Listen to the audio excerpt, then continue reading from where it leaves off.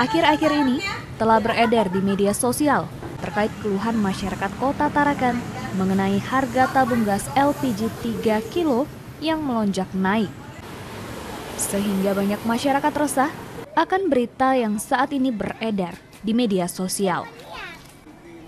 Tabung gas LPG 3 kilo merupakan kebutuhan yang sangat dibutuhkan oleh ibu rumah tangga. Selain diburu oleh ibu rumah tangga, tabung gas LPG adalah salah satu sarana mata pencarian bagi pedagang-pedagang makanan.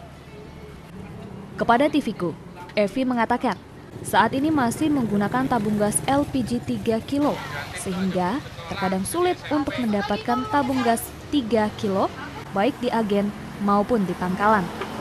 Mengingat pada saat pembagian tabung gas, para pedagang tidak mendapatkan tabung gas dikarenakan berjualan.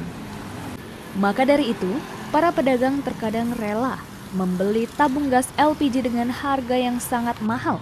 Di penjualan tabung gas LPG seperti di Jalan Mula Warman, di mana harga biasanya hanya berkisar Rp16.000.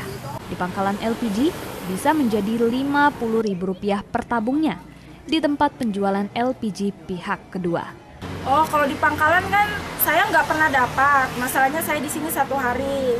Jadi asal ke pangkalan tempat saya anu katanya habis. Jadi ya nggak pernah dapat.